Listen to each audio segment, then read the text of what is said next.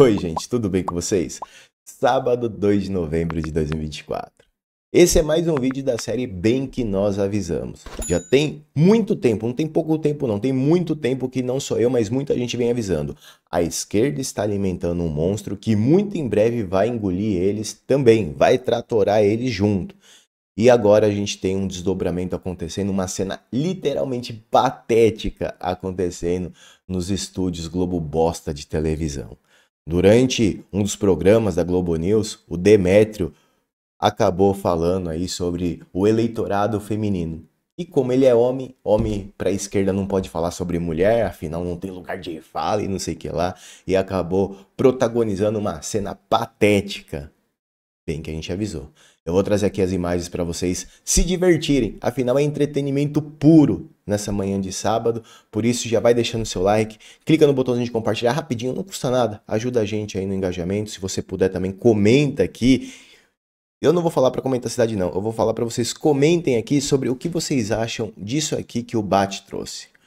Olho vermelho e irritado. Incomoda Lula durante reunião do Planalto. Não sei vocês, mas tem alguns algum tempo aí que Muita coisa envolvendo o nome de Lula vem me deixando intrigado. Acidente no banheiro, é ponto que depois ninguém viu, é tanta coisa estranha acontecendo. Eu peço a opinião de vocês. Eu sou incapaz, inclusive, de comentar. Deixa aí nos comentários a opinião de vocês. Não vou expor minha opinião, eu só acho estranho tudo isso. E vocês? Comentem aí. Partindo agora aqui para o próximo tema, envolvendo, já já partindo, né, para a questão aí da imprensa, a Tsuki compartilha um post da Fórum. Realmente é um novo momento, revista Fórum. Quem te viu e quem te vê, o banqueiro agradece. Olha que coisa, in... não sei classificar, interessante. Uma incógnita aqui. Fórum, vídeo. CEO do Bradesco elogia governo Lula na Globo News e jornalistas se calam. E aí vem a cereja do bolo na sequência. Marcelo Noronha falou por um longo tempo sem ser interrompido. Algo raro na emissora. Pergunto para vocês: quantas vezes alguém da direita conseguiu dar uma entrevista na Globo ao vivo sem ser interrompido num tempo de 3 a 5 segundos? não existe. Eles nunca deixam ninguém falar. Agora, por que o CEO do Bradesco, elogiando Lula, pode falar? Por que será? Alguém se arrisca a dizer? Como a Tsuki diz, né? Quem te viu e quem te vê, o banqueiro agradece. Falando sobre banco, sobre regime Lula, ontem saiu uma manchete aqui bem interessante na Veja, dizendo aqui, ó. Olha só, as prioridades do regime. Com captação bilionária até outubro, Lei Rouanet bate recorde em 2024. O valor é 55% maior que o maior registrado no período desde o início da Lei de Incentivo à Cultura. Margarete Menezes diz que resultados são históricos. Matéria que saiu aqui ontem às 7 da manhã. E aí, eu só vou trazer o início da matéria que ele já é autoexplicativo. Projeto da famigerada Lei Rouanet, alvo de intensos ataques durante o governo Bolsonaro, captaram mais de 1,26 bilhão de reais de janeiro a outubro desse ano. O valor é quase 55% maior que o recorde para o mesmo período. 813 milhões de reais registrado nos primeiros 10 meses de 2023. Não tem verba para saúde, não tem verba para financiamento de imóvel, não tem verba para justiça, para segurança pública, não tem verba para educação, mas para sustentar artista vagabundo é mais de bilhão. Um verdadeiro tapa na cara do povo brasileiro. E aí, vale a pena a gente lembrar que em 2022, os patrocínios até outubro, que detalhe, não era para artista, era realmente para fomentar a cultura pegando da base de jovens que não tinham condição de comprar um material, não tinha condição de comprar um uniforme, de, é, enfim, coisas destinadas realmente para fomentar a cultura da base e não para sustentar vagabundo. Aí aqui tinha, ó. Os patrocínios até outubro somaram 597,7 milhões de reais. No ano anterior, os projetos culturais captaram 60 milhões a menos no mesmo intervalo. Já em 2020, no início aí do Fique em Casa, os recursos captados foram de apenas 391,8 milhões de reais. Que saudade do Bolsonaro. Que saudade. É incrível. Ou melhor, é assustador. É incrível porque a gente sabia, a gente começa agora a ter parâmetros para poder provar o quanto Bolsonaro tinha comprometimento com o povo. E é assustador ver o tanto que a artista cobra pelo seu silêncio. Agora não tem mais ataque a governo. Agora não tem mais nem crítica a governo. Muito menos ataque, né? Quanto mais crítica, é só elogio. E o motivo?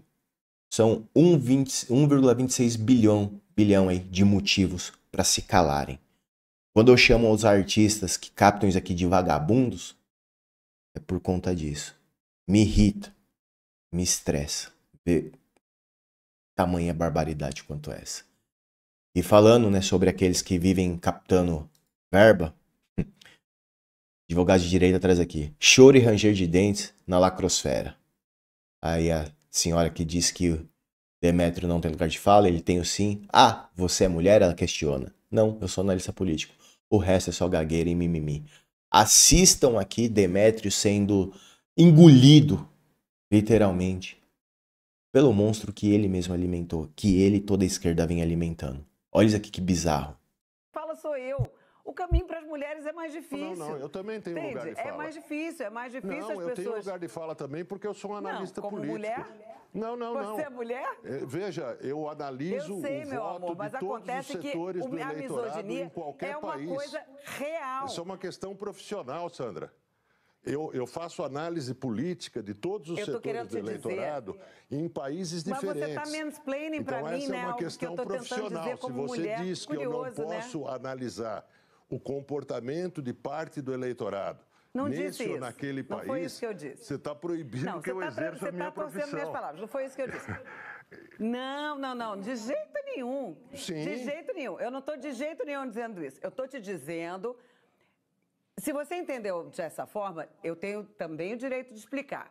O que eu estou querendo dizer é que a minha experiência de vida me mostra que é mais difícil a gente conseguir que quer que seja por, pelo fato de ser mulher. Eu acho que as pautas identitárias hoje que cresceram muito, com razão absoluta, são racismo, LGBTQIA mais fobia, mas a, a, questão feminina não está resolvida, Demétrio. As mulheres continuam ganhando 30% a menos do que os homens em mesmas funções e por aí vai. Você está me interrompendo, você está fazendo uma coisa feia que se chama mansplaining. Deixa eu terminar de falar.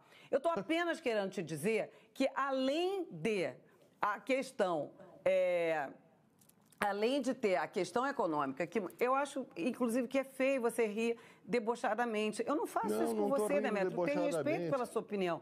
Eu, não, eu fiz uma brincadeira sobre o lugar de fala e eu acho que é importante a gente entender que não se trata de mimimi. Muita gente é, fala que ah, é a questão econômica, parará, parará, mas a questão também conta a questão dela ser mulher. Meu Deus do céu aonde o mundo vai parar. Agora, um analista político só pode fazer análise sobre eleitorado. Ele é homem só dos homens. As mulheres não pode analisar. Isso é o que a Globo traz aí como contexto dessa babaquice, desse circo armado. Não tem outro nome.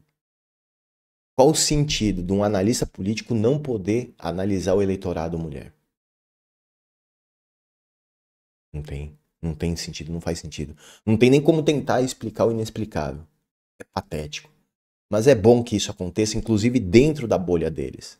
Para quem sabe, mais gente, assim como Jojo Todinho, assim como Thiago Leifert, comecem a acordar para toda essa loucura. Isso beira a insanidade mental.